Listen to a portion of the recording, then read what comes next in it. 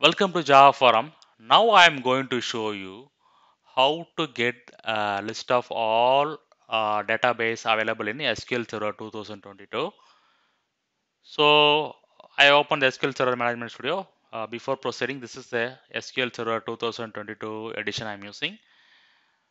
So it's a developer edition. So developer edition is a full feature uh, edition. Okay, uh, let me come to the query.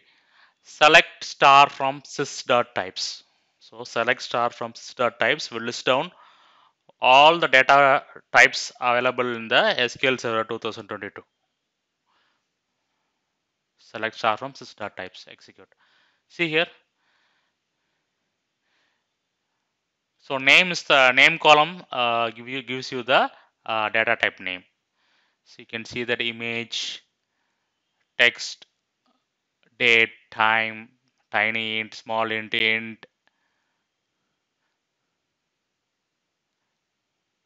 ntext, varchar, char. So all the data types are uh, printed using this select star from sys.types.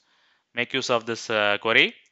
It will give you all the uh, data types available in SQL Server 2002. I think around uh, 34 data types are available currently in SQL Server 2022.